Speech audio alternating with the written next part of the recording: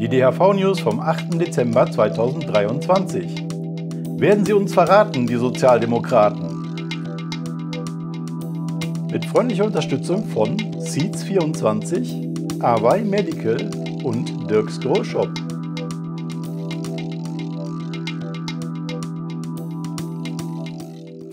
Herzlich willkommen bei den DHV News. Es gibt nur noch ein Thema zwischen uns und dem Ziel und eine Vorbemerkung. Aber ansonsten ist es so, dass das Böse nochmal aus der Erde hervorgekrochen kommt, unter den Steinen hervorgekrochen kommt und es fühlt sich ein bisschen an wie Frodo und Sam, die die letzten Meter in Mordor Richtung zu diesem Berg, zu diesem Vulkan laufen und nicht wissen, ob sie diese Hürde noch überwinden können denn jetzt geht es ums Ganze und ihr seid gefragt. Aber ich fange mal kurz mit der Vorbemerkung an, da seid ihr nämlich auch gefragt, nämlich unsere Spendenkampagne, die muss ich natürlich hier erwähnen, ja, das kann ich nicht einfach nicht tun sozusagen, auch wenn es natürlich wie immer was Wichtigeres gibt, ja, aber das gilt ja für die Legalisierung auch. Ähm, wir haben bis jetzt 20.837 Euro eingenommen von 1023 Spendern. Ähm, und alleine, um das auch nochmal hier zu sagen und uns zu bedanken auch dafür und das äh, zu würdigen, ähm, ist es schon wert, das hier auch zu erwähnen. Ähm, außerdem, ein bisschen Luft ist noch zum Ergebnis vom letzten Jahr. 129.933 Euro waren es im letzten Jahr. Es geht aber natürlich auch bis 15. Januar, da ist noch ein bisschen Zeit und wir freuen uns weiter über rege Beteiligung. So, und jetzt wieder zu dem einen Thema.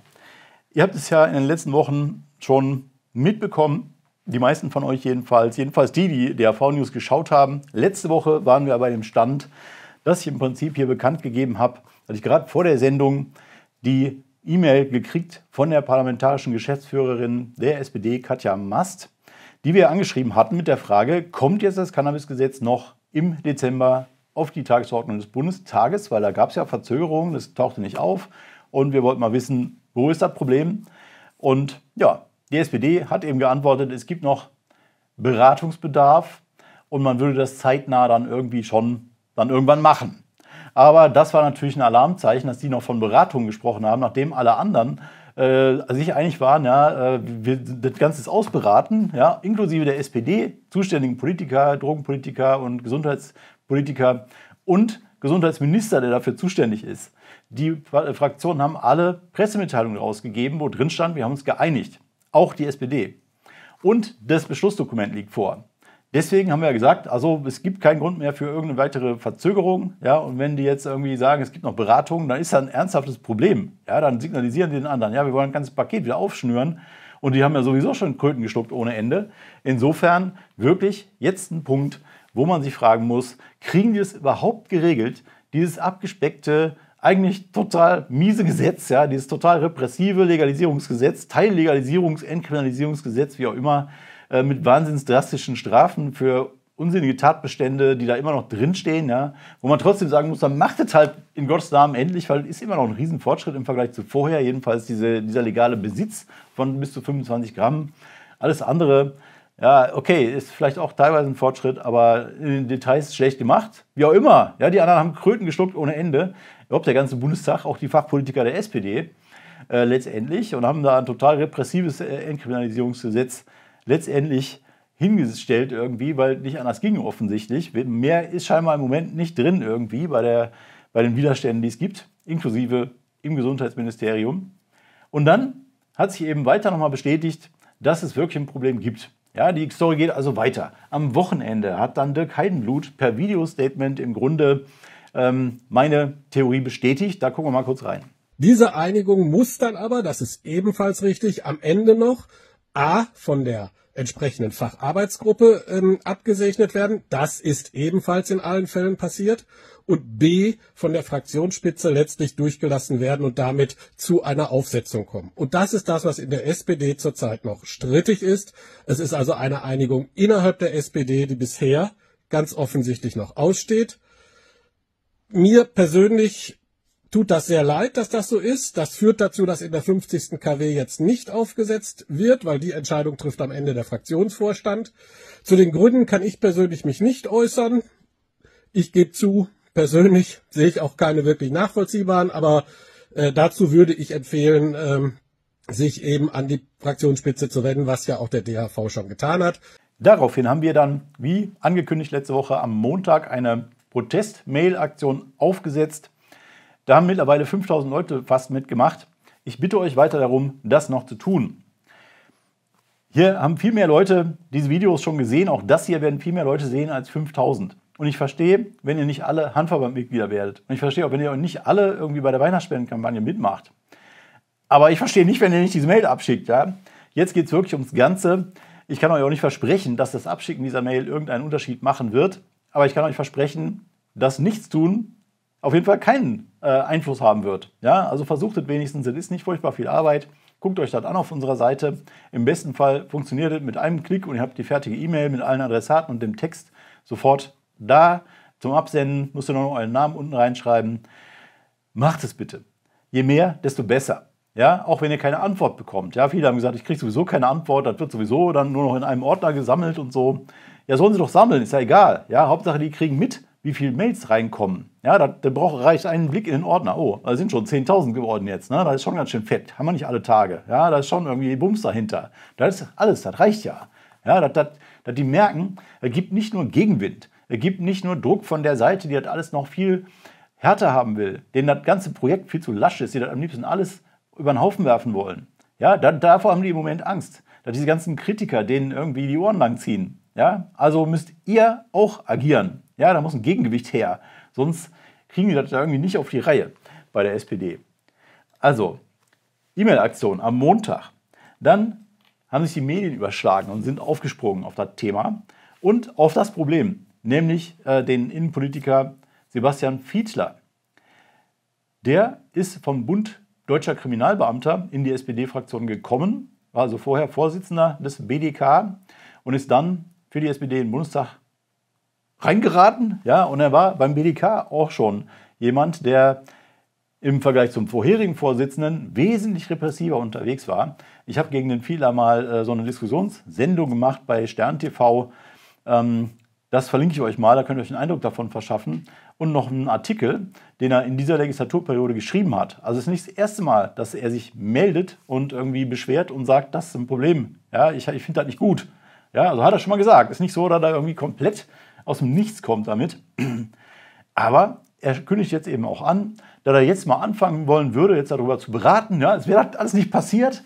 Ja, es hätte die Fraktion überhaupt noch gar kein Wort darüber verloren. Dabei haben die Expertenanhörungen stattgefunden und alles. Und jetzt sagt er auf einmal, ja, wir müssen das jetzt mal diskutieren, ähm, weil er noch nicht richtig irgendwie mit reingenommen wurde in die Diskussion, ja, nicht richtig angehört wurde, der arme Sebastian Fiedler. Deswegen muss das jetzt alles nochmal von vorne anfangen. Vielleicht hat er auch nicht gemerkt, dass die Debatte schon gelaufen ist. Ja, keine Ahnung. Auf jeden Fall will er jetzt auf einmal anfangen zu diskutieren. Ist einfach unglaublich und kündigt auch an, dass er, so wie das Gesetz jetzt ist, dem nicht zustimmen wird. Und er auch nicht der Einzige ist, sondern auch einige andere nicht zustimmen werden. Also das ist ein komplettes Desaster, das Ganze. Und man macht die SPD-Spitze da draus, ja, die sagen nicht klar irgendwie von wegen, ja gut, ist halt jetzt ausverhandelt, ja, haben ja angekündigt, das müssen wir jetzt machen. Na, es gibt halt einen Deal mit den Koalitionspartnern, tut uns leid. Nee, die sagen, äh, schwiemeln rum und sagen, wir sind, genau, da haben wir noch ein Posting abgesetzt, wir sind auf der Zielgeraden. Ja, wir machen das demnächst, ja, Zielgerade. So ein Quatsch, ja. Entweder haben sie geeinigt oder nicht geeinigt. Und wenn sie nicht geeinigt haben, dann ist das ganze Projekt komplett auf der Kippe. Weil das kann dann ewig dauern. Da ist die Frage, warum sollen die anderen jetzt da noch mehr Kompromissen zustimmen? Weil Sebastian Fiedler da irgendwie einen Aufstand macht in der SPD-Fraktion, alle anderen müssen dann kuschen oder was? Also das ist komplett abwegig. Ja, die müssen einfach sagen, okay, das Ding ist jetzt zu, das Gesetz ist nicht besonders toll geworden, ja, aber wir müssen das jetzt mal machen. Und alles, was nicht in die Richtung geht, ist ein Problem, was das ganze Cannabis-Gesetz komplett gefährdet. Also macht bei dieser E-Mail-Aktion mit und dann ist während der Woche immer mehr klar geworden, es gibt diverse Aktivisten, Aktivistengruppen, die in Berlin rund um den Parteitag der SPD, der jetzt gerade stattfindet, am Wochenende Aktionen durchführen. Und zwar gibt es äh, ein Protestcamp, das den ganzen, das ganze Wochenende über direkt vom Eingang äh, dieses Parteitags stattfindet, ja, auf dem großen Parkplatz quasi, ne, wo eben dieser Eingangsbereich ist. Da war ich heute Morgen, habe mir da mal schon mal angeguckt, da sollte so ein Pressefrühstück geben, weil es nicht großartig Leute da, auch nicht großartig Presse, aber es war wirklich sichtbar von dem Eingang aus, ja, die SPD-Leute, die da reinkommen, haben das gesehen sozusagen, es vorne so ein riesen Hanfblatt Zeigen wir mal ein paar Bilder im Hintergrund hier, die ich da mitgebracht habe. Und gute Stimmung, ja, so ein paar Feuerschalen sind da. Ähm, ja, und Zelte ne, für Konsumenten, die sind da auch vorgesehen, scheinbar auf dem Gelände, wie auch immer. Auf jeden Fall Samstag ist große Demo da, Kundgebung, wieder von anderen organisiert. Steffen Geier insbesondere hier in Berlin. Und äh, Tobi Piet von Hanfner ist da mit im Spiel. Die CSCs Berlin und Hamburg äh, sind auch mit zugange da mit dem Protestcamp. Also Samstag, 14 bis 18 Uhr, Demo in Berlin vor dem Cube, City Cube bei der Messe. Das findet ihr alles auf unserer Seite in der Videobeschreibung. klickt da mal rein. Alle, die irgendwie können, bitte da hinkommen. Ich werde auch da sein, morgen Nachmittag nochmal, 14 bis 18 Uhr. Äh, und auch was erzählen da, ja, aber es geht im Wesentlichen darum, dass ihr da seid, ja, und nicht, dass ich da bin. Ähm, und dass wir da nochmal Flagge zeigen. Und dass ihr bei der E-Mail mitmacht. Ja, einmal auf die Seite handverband.de klicken. Ja, wir sind mitten in Mordor unterwegs und das Böse macht den Aufstand. Ja, und entweder schafft man das oder wir schaffen das jetzt nicht. Übrigens auch danke für alle, die auf Social Media mitgemacht haben. Ja, diese ähm, Antworten auf die SPD-Postings, ja, das hat mir Spaß gemacht, wenn da 1000 Likes drauf sind und die SPD nur 100 hatte, ja, wenn sie da irgendwie vorher was geschrieben hat dazu. Und es macht auch mir Spaß, die ganzen anderen äh, Kommentare mal durchzuscrollen, weil ich bin natürlich die, nicht der Einzige, der das macht, sondern der ganze Beatmob geht darauf ab sozusagen. Ja, also jeder Einzelne, der da einen Kommentar schreibt und denen sagt, äh, was jetzt, ihr seid ihr verrückt, wir können das nicht immer aufmachen, ja, jetzt verabschiedet das gefälligst mal. Ja, wunderbar, äh, auch das hilft natürlich. Dann haben wir dazu, als dann klar war, ne, gibt die Demo ähm, und ist auch noch keine Neuigkeit rausgekommen von der SPD, dass die das Problem irgendwie abgehakt hätten, haben wir eine Pressemitteilung gestern rausgegeben. Die ist von zwei Agenturen aufgenommen worden, von der DPA und von der DTS, wo auch äh, ich da nochmal zitiert worden bin in dem Zusammenhang, ja, die SPD muss das jetzt endlich beenden, auch diese massenhafte Strafverfolgung von Cannabiskonsumenten, harmlose Bürger, ja, die seit Antritt der Ampel hat es schon über 350.000 Strafverfahren gegeben gegen einfache Konsumenten. Ja, das reicht mal langsam, zumal das Gesetz ja jetzt fertig ist. Ja, bis jetzt war ja, ich, ich habe immer gesagt, das dauert zwei Jahre, ja, bis das fertig ist. Das geht nicht so schnell. Deswegen haben wir immer gesagt, Entkriminalisierung kleiner Menge, sofort. Den ganzen Rest müssen wir lange diskutieren. Das ist nun mal so, das ist abzusehen. Jetzt sind die zwei Jahre rum. Ja, habe ich ganz gut geschätzt. Das Ding ist fertig, liegt da, Gesetzesbeschluss fertig. Alles ist da, die müssen nur noch irgendwie Tändchen heben und dann auf die Tagesordnung packen. Ja, machen die nicht von der SPD, weil die sagen, ja, wir müssen jetzt erstmal noch auf der Zielgeraden sein. Ja, was soll das denn sein, Zielgerade? Auf der Tagesordnung ist Zielgerade. Alles andere ist das Projekt komplett gefährden. Naja, also gab ein paar schöne Presseberichte zu unserer Pressemitteilung. Also wir sind also wild am Rödeln hier sozusagen die ganze Zeit. Jede Menge Presseberichte über diese, diesen Aufstand da innerhalb der SPD, insbesondere von Sebastian Fiedler. Und dann heute ging es dann gleich wieder noch weiter. Ähm, einerseits ein positiver Aspekt nochmal, dass sich auch ähm, Christine Lüttke von der FDP nochmal gemeldet hat, die auch gesagt hat, das ist jetzt irgendwie, na, wo, wir einen geeinigten Text haben, geeinigtes Gesetz haben, ist halt maximal irritierend, wie vielstimmig die SPD-Fraktion da jetzt noch irgendwie rumtönt. Ja, was soll man als Koalitionspartner damit anfangen? Ja, das ist ja, wird für sich eine morphende Masse irgendwie, ja, mit denen kann man nichts verabreden. Ähm, dann, nächster Punkt, der heute kam, Drogenpolitische Bankrotterklärung. Breites Bündnis fordert aus für Lauterbach-Plan in der Welt. Gut, das sind die üblichen Verdächtigen, ja, Bundesärztekammer und so weiter, die sowieso immer die ganze Zeit schon gegen das Gesetz gestänkert haben und die eigentlich schon eh total überdurchschnittlich viel Medienaufmerksamkeit dafür gekriegt haben. Jetzt haben sie es nochmal alle zusammen gemacht. Angeblich soll auch die GDP dabei gewesen sein. Äh, das kann ich mir fast gar nicht vorstellen, weil die ja zuletzt so einen Schwenk gemacht hat Richtung, naja, okay, wir begleiten das konstruktiv. Aber ich hatte auch den Eindruck, dass die äh, Redakteurin nicht wusste, dass es zwei Polizeigewerkschaften gibt. Wahrscheinlich war es eher die DPOLG. Auf jeden Fall gibt es jetzt wieder so ein, so ein Bündnis, was jetzt immer sagt, ähm, komplettes Aus, bitteschön, für Lauterbachs Plan. Die wittern also die Unsicherheit in der SPD-Fraktion. Die denken, wir haben jetzt nochmal eine Chance. Ja, uns gehen sie alle nochmal irgendwie ins letzte Gefecht und auf die Barrikaden und versuchen nochmal irgendwie auf letzte Minute das Ganze komplett zu verhindern. Also es ist wirklich wichtig, dass ihr da jetzt mitmacht. Es gibt auch Leute, die ihre SPD-Abgeordneten vor Ort nochmal ansprechen. Ja, auch das macht absolut Sinn. In eurem Wahlkreis mal gucken, wer ist denn hier unser SPD-Bundestagsabgeordneter vor Ort, den mal ansprechen und fragen, was soll das jetzt hier? Macht das mal mit dem Cannabisgesetz. Ja? Dann erzählen die ja immer, wer noch äh, irgendwie passt gerade nicht. Es gibt gerade was Wichtiges. Erst gab es den äh, Angriff da an Israel von der Hamas. Deswegen ist es dann von der Tagesordnung gekommen, weil das war ja wichtiger und das passt ja nicht so richtig zusammen irgendwie. Jetzt ist es der Haushaltskrach, der wichtiger ist. Ist es ja auch, ja, aber das ist ja kein Grund, irgendwie das Cannabisgesetz nicht zu verabschieden. So ein Blödsinn, ja. Kann ich nicht ertragen, diesen Quatsch. Ähm, bloß weil die das nicht auf die Reihe kriegen, ihre internen äh, Kommunikationsprozesse vernünftig zu organisieren. Ja, also das Bündnis, was jetzt das Ganze komplett in die Tonne kloppen will. Und was hat man noch? Genau, die Innenministerkonferenz hat schon wieder beschlossen, dass sie gegen die Legalisierung von Cannabis ist. Das machen die ja ritualhaft seit Jahren immer mal wieder und in letzter Zeit auch im äh, engeren Takt. Ähm, Innenministerkonferenz der Länder hat jetzt keine durchschlagende Bedeutung. Ja, formal gar keine eigentlich. Also überhaupt der ganze Bundesrat kann ja eigentlich machen, was er will, rein formal gesehen, weil ja dieses Gesetz nicht zustimmungspflichtig ist. Die können das, könnten, wenn der Bundesrat mehrheitlich dafür wäre, nochmal ein bisschen Verzögerung reinbringen, äh, nochmal einen ähm, Vermittlungsausschuss anrufen, aber die können eigentlich das Gesetz nicht verhindern. Und die Innenminister selber schon mal gar nicht, weil die ganzen Landesregierungen müssen ja entsprechend abstimmen. Aber in ihrer Innenministerkonferenz, da können die mal ein bisschen machen, was sie wollen. Ja, da, da redet denen keiner rein, wie sie da abstimmen, sondern erst, wenn dann im ganzen Plenum des Bundesrates ne, die echten Abstimmungen stattfinden, äh, da müssen die Koalitionspartner mitreden, müssen die sich irgendwie verabreden, wie das Bundesland dann jeweils da abstimmt. Aber in der Innenministerkonferenz können die alle irgendwie machen, was sie wollen. Und die SPD-Innenminister sind offensichtlich der Reihe durch alles irgendwie repressive Leute, die das Verbot von Cannabis super finden und die die Jagd auf die Konsumenten super finden ja, und die überhaupt keine Reform wollen und ständig gegen die Legalisierung stimmen. Und Sebastian Fiedler, der da in der Bundestagsfraktion den Aufstand macht, tickt eigentlich genauso. Der sagt zwar immer, er wäre ein Reformer und wäre für Entkriminalisierung, aber die ganzen Argumente, die er bringt, sind super repressiv.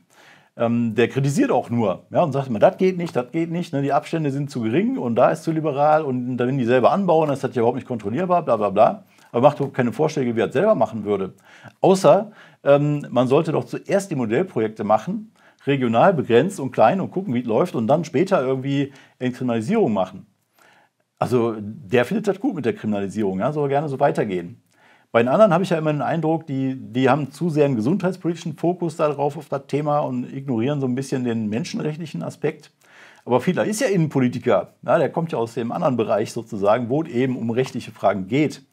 Und der will das eben nicht haben mit dieser Entkriminalisierung im Eigenanbau. Der will Leute bewusst weiterjagen, ja? anders als die Gesundheitspolitiker, die das nur nicht so auf dem Schirm haben. Also ist echt ein Drama, ja. Also es geht wirklich nur um Verschärfung. Auch nochmal für die, die vielleicht denken, ähm, die SPD will das jetzt immer aufmachen, das Thema, um noch irgendwelche Verbesserungen durchzusetzen oder so, ja. Was an Verbesserungen ging, ist gegangen, ist gelaufen, ja. Und jetzt geht es denen ausschließlich darum, irgendwelche Verschärfungen da noch reinzubringen. Und ähm, ja, Warum sollten die anderen das jetzt noch machen? Nochmal, ja. Also das ist eher so, dass dann im Prinzip, wo sowieso die ganze Ampelregierung gerade irgendwie total am Zerbröseln ist, irgendwie, oder man sich immer fragt, wie lange stehen die überhaupt noch, auch bei den Umfragewerten. Ja, Im schlimmsten Fall versemmeln die das Ganze komplett. Also, Samstag Demo, Freitag, äh, äh letzte Woche E-Mail-Aktion, ja, das bleibt jetzt noch online, bis die sich da irgendwie ausgekäst haben. Also bitte macht da mit. Äh, Weihnachtsspende ist natürlich auch fein, ja, aber jetzt müssen wir vor allen Dingen irgendwie gucken, dass wir dieses SPD-Problem auf die Reihe kriegen. Und deswegen nur dieses eine Thema heute, es gibt keine anderen Themen. Das ist das Thema, da müssen wir jetzt durch. Macht da mit und ja, mit ein bisschen Glück kann ich euch vielleicht nächste Woche erzählen, okay, Sie haben es gemacht. Sie haben zugesagt, dass Sie nichts mehr ändern wollen. Das ist auf der Tagesordnung und alles ist gut. Ja, so gut wie das Cannabis-Gesetz halt geworden ist. Ja, super gut nicht, aber einigermaßen halt. Das kann aber auch sein, ne, dass irgendwie das Ganze uns komplett um die Ohren fliegt. Also ist nochmal richtig Showdown jetzt angesagt. Und damit komme ich zu den Terminen. Ähm, wo wir in Darmstadt einen Infostand der Ortsgruppe haben am 9.12.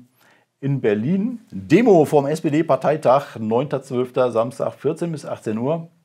In Erfurt eine Infokundgebung der Ortsgruppe Thüringen am 9.12. auch morgen Samstag 11.12. Kundgebung zum Internationalen Tag der Menschenrechte, Ortsgruppe in Halle.